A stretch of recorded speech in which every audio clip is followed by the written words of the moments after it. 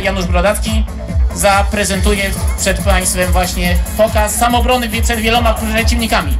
Na ulicy akcja bardzo szybko się zmienia, trzeba być szybko reagować i najprostsze ruchy jakże najbardziej skuteczne. Widzimy dynamikę i szybkość. Wielkie brawa!